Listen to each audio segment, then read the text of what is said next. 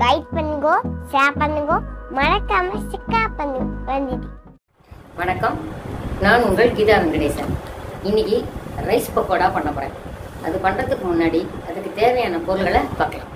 சாதம் கடலை மாவு அரிசி மாவு மிளகாய் தூள் பெருங்காயம் சீரகம் கருவேப்பிலை கொத்தமல்லி உப்பு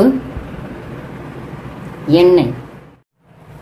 இப்போ சாதத்தை இது வந்து மிஞ்சின சாதம் தான். நம்ம இருந்தாலும் கொஞ்சம் போட்டு ஒரு சுற்றி சுற்றிக்கலாம்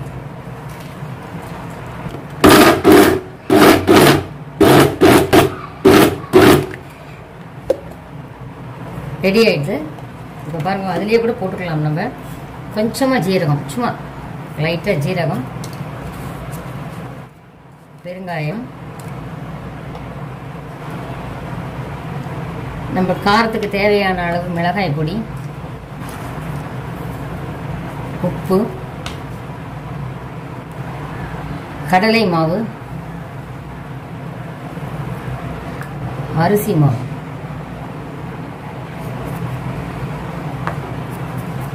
எல்லாம் போட்டுட்டோம். சும்மா கலக்கிறதுக்காக தான் சுத்த போகிறோம் சுற்றினோம் இப்போ இது கொஞ்சம் ரெடி பண்ணிக்கலாம். கொஞ்சம் கருவேப்பிலை போட்டுக்கலாம். கருவேப்பிலையை நல்லா பொடியாக பிச்சு போட்டுக்கலாம். நறுக்கிறத விட இது மாதிரி பிச்சு போட்டால் அதனுடைய வாசனை நான் கொஞ்சம் நல்லா தூக்கலாக இருக்கும். கொஞ்சம் போல் கொத்தமல்லி போட்டுக்கலாம். கொத்தமல்லி எவ்வளோ போட்டுனாலும் நல்லா தான் இருக்கும். போட்டுக்கலாம். இப்போ இதை கலந்துட்டு தண்ணி தேவைன்னா தெளிச்சிக்கலாம்.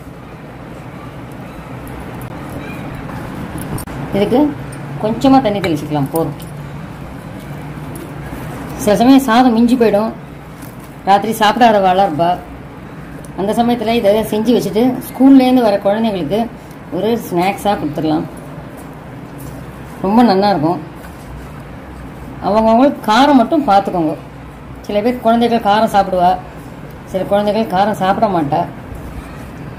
இப்போ இது நல்லா ரெடி ஆயிடுத்து இப்போ அடுப்பு பற்ற வச்சு எண்ணெயை விட்டுக்கலாம். எண்ணெய் காயட்டும்.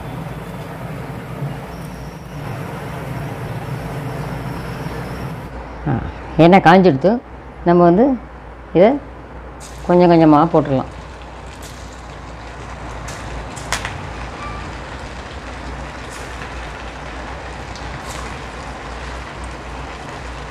ஒரே ஷேப்பாக இருக்கணும் அப்படிலாம் கிடையாது.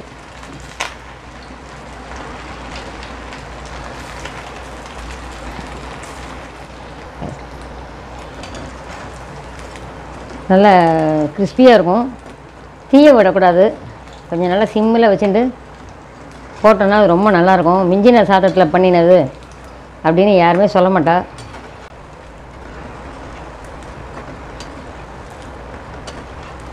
ரொம்ப அருமையாக இருக்கும்.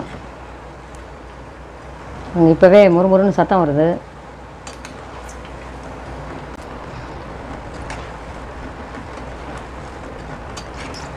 அதான் மெதுவாக அப்படியே திருப்பி விட்டோன்னா ஒரே மாதிரியாக வேகும்.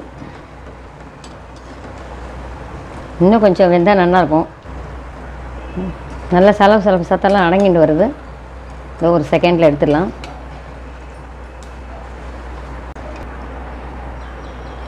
ஒரு டிஷ்யூ பேப்பரில் போடலாம். எண்ணெயெல்லாம் உறிஞ்சிடும். எண்ணெய் குடிக்காது ஆனால் இது. இருந்தாலும் நம்ம கொஞ்சம் கேர்ஃபுல்லாக இருக்கிறதுக்காக போட்டுக்கிறோம்.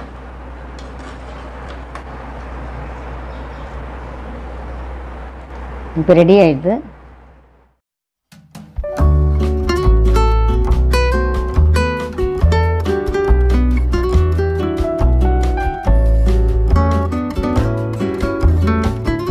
ரைஸ் பக்கோடா ரெடியாக இருக்குது சாப்பிட்டு பாரு மணி எப்படி இருக்குன்னு.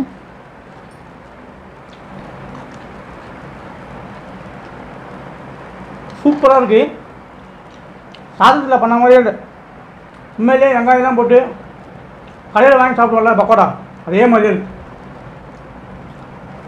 ரொம்ப சிம்பிளான டிஷ்ஷு சாதத்தில் மிஞ்சிரத்தை வச்சு தான் பண்ணியிருக்காங்க. செம்ம டேஸ்ட்டாக இருக்குது நல்லா முறுமுறுப்பாக இருக்குது ஃபுல்லாக சாப்பிட்டு பார்த்தா ரொம்ப நல்லா இருக்குன்ட்டான். இன்னொரு இதுக்கு இதுக்கு ஒரு டிப் கொடுக்குறேன். வெங்காயம் போட்டுக்கலாம் கோஸ் போட்டுக்கலாம். காய்கறியெல்லாம் மிஞ்சிருக்கும் இல்லையா? சில சமயம் பொரியல் பண்ணுவோம். அதெல்லாமே இதில் போட்டு பிசைஞ்சு பண்ணினோன்னா ரொம்ப நல்லாயிருக்கும் ஹெல்த்தியாக இருக்கும். வேஸ்ட் பண்ணாத ஒரு ஃபுட்டாக நம்ம இருப்போம். அடடா என் பேத்தி வந்துட்டா பாருங்களேன். இப்போ என் பேத்திக்கு கொடுக்க போகிறேன் அவள் எப்படி இருக்குன்னு சொல்கிறான்னு பார்க்கலாம்.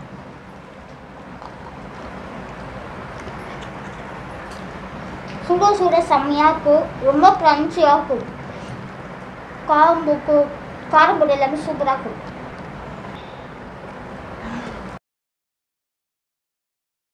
சூப்பராக இருக்கும் படி. இது நான் சாப்பிட்டு பார்த்தேன் கிரம்ச்சியாக சூப்பராக காரசாரமாக இருக்குது இது சின்ன குழந்தைங்களுக்கு ரொம்ப பிடிக்கும். அதனால் நீங்களும் ட்ரை பண்ணி பாருங்கள் இந்த ஏதோ ஒரு இருக்க சேனலுக்கு லைக் பண்ணுங்கள் ஷேர் பண்ணுங்கள் சப்ஸ்கிரைப் பண்ணுங்க.